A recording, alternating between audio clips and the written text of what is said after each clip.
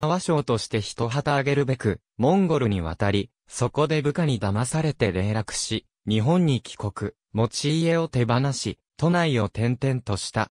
後、茨城県の愛人のもとに移り、釣りに明け暮れ、肝臓病で亡くなった。母方の祖父の池上聖路は、銀座の大手広告代理店、聖路記者の創立者。平太郎には離婚した繊細との間に子がいたため、聖の実母安は、繊細の子に気を使い、聖を自分の兄の養子に入れ、飯島聖とした。中学時代から映画館通いを始める。純映画劇運動を信奉する文学青年であった。1919年、東京府立第一中学校を卒業し、第三高等学校に入学。同窓に、梶井元次郎、中谷隆夫がいた。1922年、東京帝国大学フランス文学科に入学。同窓に、渡辺和夫、伊吹武彦らがおり、辰野隆に指示した。卒業論文の題目は、アルフレッド・ドミュッセの戯曲における心理的位置展開。大学入学と同年、キネマ旬報同人となる。1928年、初の映画評論集、シネマの ABC を刊行。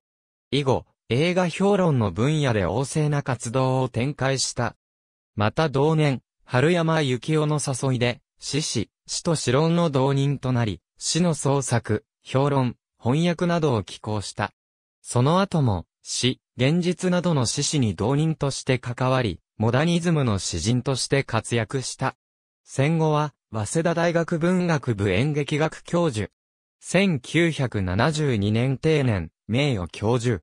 教え子に、脚本家の長田則夫、大原清秀、映画研究者の志賀忍、山本菊夫、岩本健二、文化人類学者の西江正幸らがいる。指導の傍ら評論、研究にも注力した。1970年に上司した前衛映画理論と前衛芸術は飯島の主張であるが、壮大の同僚の勧めでこれを博士論文として提出し、博士号を取得した。また、同書の功績により、翌1971年には芸術戦勝文部大臣賞を受賞している。1993年、川北賞を受賞。1996年に死去した後、毎日映画コンクール特別賞を贈られた。妹の吉田隆子は作曲家で、久保久志の内妻。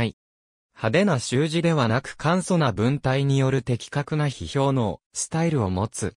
梶井元次郎は、飯島のスタイルについて、次のように述べている。飯島は、はっきりした人だ。企まない表現がそれを語っているように、正直な、淡白な人だ。その中に、自らの眼蓄を持っている。ありがとうございます。